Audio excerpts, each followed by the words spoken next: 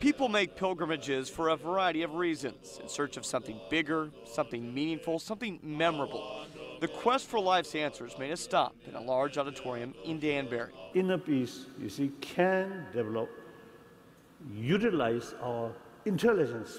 His Holiness, the Dalai Lama, wearing a Western Connecticut State University visor, I'm one of you.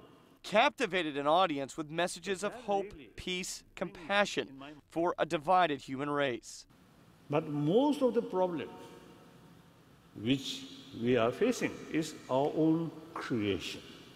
In a harsh political landscape weeks before an election, many from this flock flocked here in search of good news and simply a good feeling about life. He always has beautiful messages and beautiful energy, and just happy to be in his presence. Life's answers are rarely found in one sitting, even in front of one of the most revered spiritual leaders on the globe.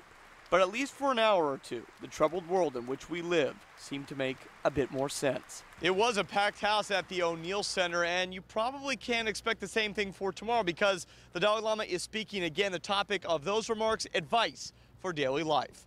Reporting from Danbury, I'm Jamie Muro, News 8.